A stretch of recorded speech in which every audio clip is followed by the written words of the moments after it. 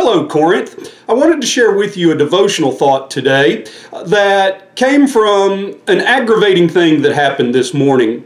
Uh, it's really kind of silly. As I've told you before, uh, I can deal with the big things in life. It's those little bitty pesky things that have a tendency to get the best of me.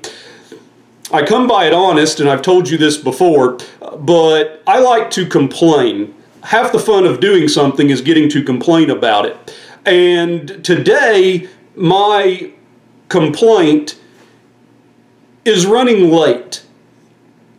Uh, whenever we hear the term running late, there are several things that might come into our minds. We all know that person who is chronically late and adding insult to injury, uh, they laugh it off as if it's no big deal. I think running late is disrespectful.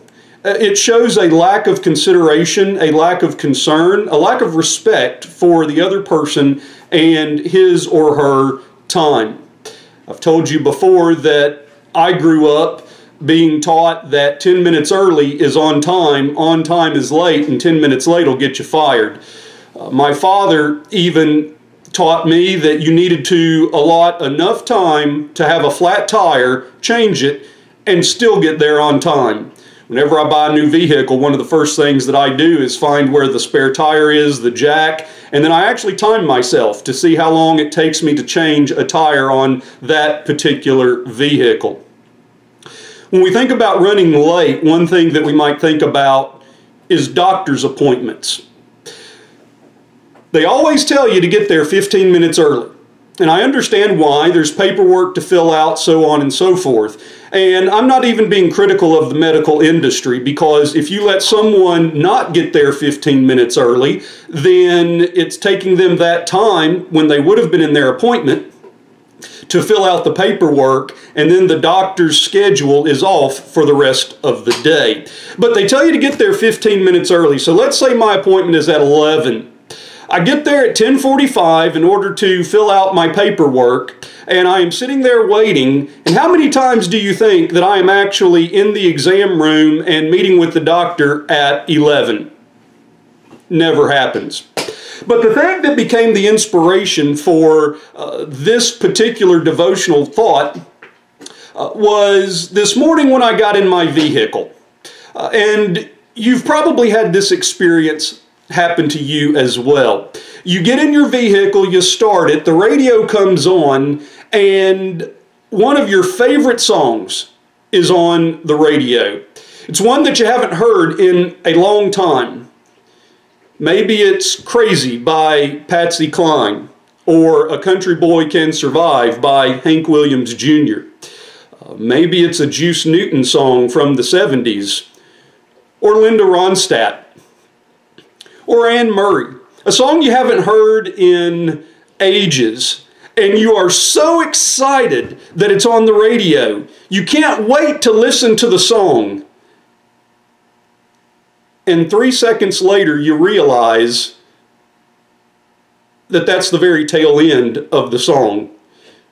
You had been so excited about being able to hear it, only to have your hopes dashed because you got in your vehicle two minutes too late to hear the song. Well, as I read my Bible, something strikes me about the Lord, and that is He's never early, He's rarely late, but even then, He's right on time. I'm thinking about an example from John chapter 11. It's the death and resurrection of Lazarus. And you're probably familiar with the story the Lord receives word that Lazarus has died. But the Word of God tells us that when Jesus found out about this, he delayed going to Bethany.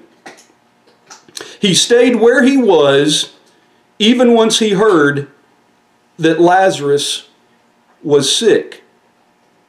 In verse 5, the Word of God says, Now Jesus loved Martha and her sister and Lazarus. When therefore he heard that he was sick, he stayed then two days longer in the place that he was. Jesus finally goes to Bethany. And when he gets there, Martha says, Lord, if you had been here, our brother would not have died. Jesus in verse 23 says to Martha, Your brother shall rise again. The story goes on. Jesus tells Martha and Mary, I am the resurrection and the life. And then he asks them to show him the place where Lazarus has been laid. In verse 39, Jesus instructs the people to remove the stone. They, they protested because after four days there would have been quite a stench to emanate from the tomb. This is the story where one of the most famous Bible verses, because it's the shortest verse in the Bible, is found. Jesus wept. I think it's tragic that this verse's claim to fame is that it is the shortest verse in the Bible. Jesus knew what he was going to do. Jesus knew he had the power of death and life. Jesus knew that he was going to raise Lazarus from the dead. Many theologians have speculated on why Jesus wept here. Some people have claimed that Jesus wept because he knew that he was going to bring Lazarus back to life and that Lazarus would have uh, more pain and suffering in life and that he would die again. Uh, I reject that idea. Our Lord is a Lord of grace. Our Lord is a Lord of mercy. If we want to make him raising Lazarus from the dead what some claim it to be, then this is not an act of grace and mercy and love. I think Jesus wept because we do not have a high priest who is unable to sympathize with our weakness. I think we see here the human side of Jesus coming out. Who doesn't weep when a loved one has passed away? Who doesn't rejoice when friends rejoice? Who doesn't weep when friends weep? I think there is a lot of humanity in those two verses. And those two words tell us an awful lot about our Lord and Savior. Jesus says, Lazarus, come forth. And Lazarus comes out of the tomb. Lord, if you had been here, our brother would not have died. Our Lord is never early, seldom late, and even then, He's right on time. So stay faithful in prayer. Our Lord's delay is not an example of His denial. Have a great day.